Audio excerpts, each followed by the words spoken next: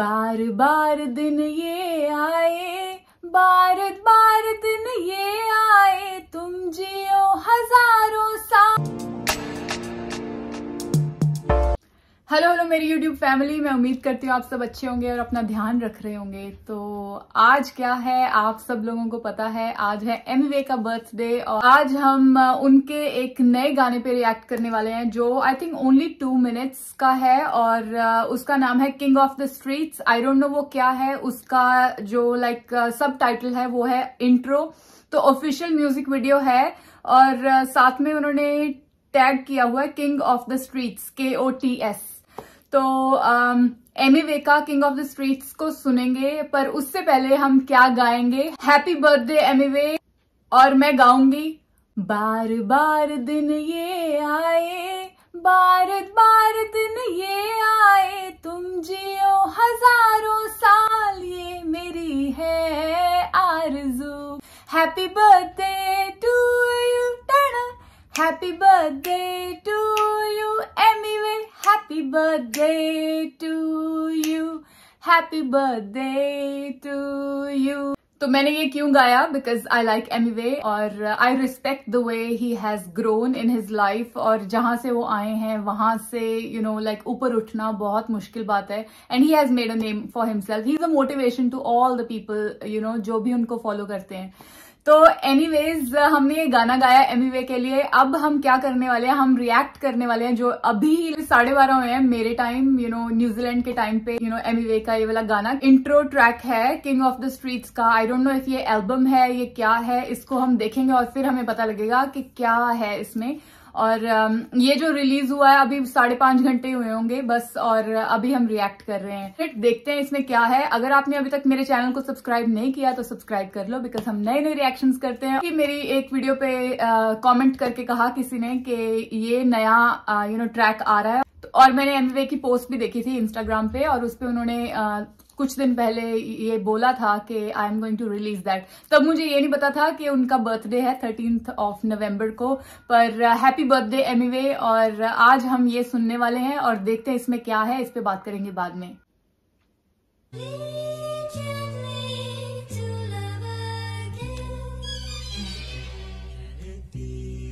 Can it be मालूम है ना एल्बम आठ साल है एल्बम ओ आपने देखा क्या था? अभी मैंने देखा कि मालूम है ना, एल्बम का कवर है, आठ साल एल्बम का कवर है और एक खाली पेज है जहाँ पे आई थिंक इट्स शोइंग के कुछ नया आने वाला है। So it's like an album जो नई आने वाली है तो I think that is the announcement अभी मुझे पता लग गया पहले ही।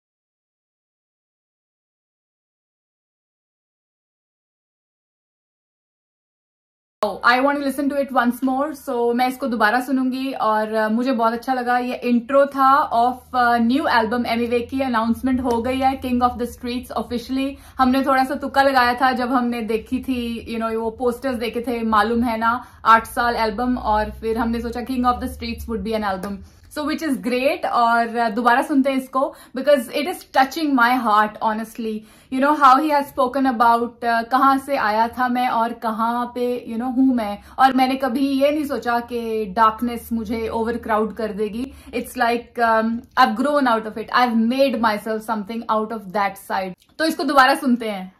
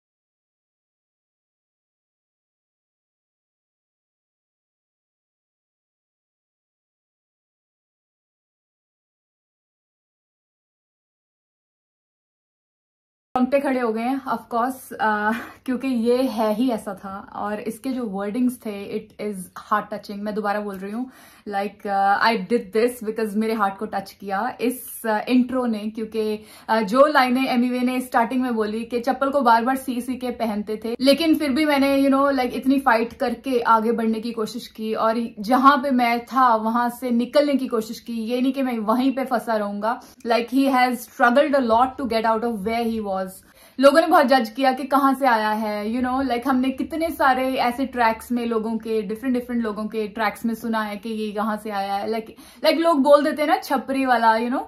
और इट्स इट्स वेरी डिसहार्टनिंग जब कोई ऐसा बोलता है तो ही इज़ ऑफिशियली सेइंग कि I am the king of the streets और uh, बोल लो जो बोलना है आप लोगों ने क्योंकि मैं ही खुद बोल देता हूँ कि I am the king of the streets and वो जो ताज था एंड में it just made me so so happy कि you know he is self proclaiming himself as the king of the streets. Like Emiway ने अपना you you know know इतना दम लगा के he came out of those things और अगर लोग ये सोचते हैं कि वो कहाँ से आया है क्या कैसी लैंग्वेज है क्या सारा कुछ है तो इट डजेंट मैटर बिकॉज़ उन्होंने अपने आप को बहुत उठाया है and it takes a lot of courage of course और uh, मुझे तो ये बहुत अच्छा लगा. एल्बम कमिंग सून मैं वेट करूँगी उस एल्बम की क्योंकि uh, because I like Emiway मैंने पहले भी कहा था आपको और um, और मैं क्या कहूँ मुझे समझ नहीं आ रहा बिकॉज़ मैंने दो बार ही सुना और uh, मेरे दिल को छू गया बिकॉज़ इसमें जो वर्डिंग्स थी कि यू नो जो खुशी के दिन थे ना, वो तो चलो निकल जाते हैं, लेकिन जो गम वाले दिन होते हैं ना, जब आप इतनी पेन में होते हो, और जब आप इतनी यू नो लोगों की बातें सुन रहे होते हो, और आप कुछ कर नहीं पाते जब कहीं से निकलना होता है मतलब बीमारी जैसा फील होता है ना, जब आप किसी जगह पे फंसे होते हो, और आप निकलना चाहते हो वहाँ से तो लंबे लंबे दिन लगते थे, वो जो पेन वाले दिन थे ना, वो बहुत लंबे दिन लगते थे, और ऐसा लगता था जैसे फंसे हुए हैं वहाँ पे। लेकिन मैं हारा नहीं, मैंने हमेशा जीत की तरफ़ अपने पैर बढ़ाए ट्राई हमेशा और uh, मैंने अपने आप को बुरी आदतों में फंसाया नहीं। Again he is trying to say that and incredible I love it I love it और uh, अगर आपको मेरा रिएक्शन अच्छा लगा हो इस किंग ऑफ़ द स्ट्रीट्स के इंट्रो वाले गाने पे तो प्लीज़ आप मेरी वीडियो को लाइक करना और मुझे आप बताना कि आपको इस वाले गाने में कौन सी लाइन अच्छी लगी। क्योंकि मुझे तो सारी लाइनें बहुत अच्छी लगी। Whatever he said is with the heart and commendable बहुत अच्छा निकाला है। आई एम जस्ट वेटिंग के इस वाली एल्बम में कैसे गाने होंगे? I think it's gonna be positive मुझे लगता है कि ये सारी पॉजिटिव एल्बम होगी। इसमें जो भी आएगा he is gonna tell a story about himself and of course he talks about himself and लोगों को पता होना चाहिए वॉट ही इज़ और कैसे वो बने हैं।